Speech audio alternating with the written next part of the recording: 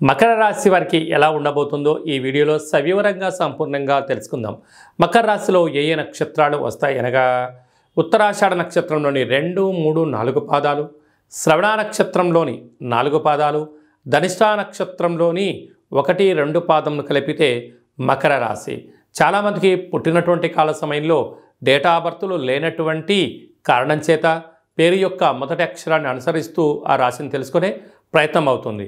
అవి ఏ అక్షరాలు ఒకసారి పరిశీలన చేద్దాం.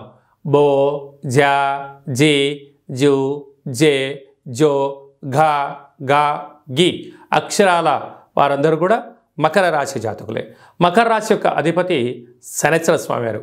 వీరికి ఏళ్ళనాటి శని ద్వితీయార్థంలో చివరిగా కేవలం రెండు సంవత్సరాలు మాత్రమే మిగిలి ఉంది. కనుక సత్కర్మ చేయవ సత్ఫలిత దుష్కర్మ చేయవ దుష్ఫలిత అనేటువంటి సూత్రం మీద ఆధారపడి ఉంటుంది. ధర్మంగా ఆధ్యాత్మికంగా న్యాయంగా మీరు కష్టపడగలిగితే మీకు ఉజ్వల బంగారు భవిష్యత్తు రోజులు ఉన్నాయి. అతి ఆశ దురాశ అనైతిక కార్యక్రమంలో పాల్గొన్నారా?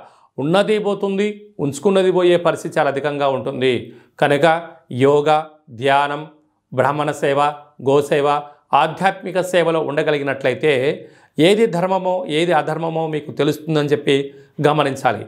అర్ధాష్టమ గురురాహుల కలయిక చోరభయం అగ్నిభయం తస్కర భయం ఆందోళన ఎప్పుడు ఏం జరుగుతుందో ఎలాంటి విపత్తి వస్తాయో అని చెప్పి ఆందోళన చెందుతూ ఉంటారు. కనుక ఇలాంటి వాటిని భ్రమను వీడండి నీతి నిజాయితీగా ధర్మంగా ఉండే ప్రయత్నం చేయండి. సప్తమంలో రవి సంచార స్థితి ప్రేమికుల మధ్య భార్యాభర్తల మధ్య నూతన కార్యక్రమాల ప్రారంభ కార్యక్రమాల్లో మీరు క్షుణ్ణంగా తెలుసుకుని ప్రయాణం చేయగలిగితే మీకన్నా అదృష్టవంతుడు ఎవరు లేరు అని చెప్పి గమనించాలి. అష్టమంలోనే కుజుడు బుధుడు శుక్ర సంచార స్థితి కుజదోష ప్రభావం కారణం వలన మీ జన్మ నక్షత్రం రోజున మీరు పుట్టినటువంటి రోజున అష్టమి పూర్ణిమ అమావాస్య తిథుల ఎందున దూర వాయు జల ప్రయాణాలు పెట్టుకోవద్దు. పంచభూతాలతో ఆయుధాలతో దయచేసి చెలగాటమాడొద్దు బ్యాంకు లావాదేవీలు ఓటీపీలకు ఎంతో దూరంగా ఉండడము ఉత్తమోత్తంగా భావించండి. లాభస్థానంలో కేతు సంచార స్థితి ఉండడం వల్ల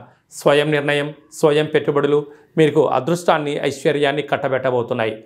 డాక్టర్లకు మెడికల్ స్టోర్ వాళ్ళకు హోటల్ వ్యాపారాలు జల సంబంధమైన బిజినెస్ చేసేటువంటి వారందరికీ సు శుచి శుభ్రత ద్వారా అదృష్టం ఐశ్వర్యం వీరి సొంతం కాబోతుందని చెప్పి గమనించాలి.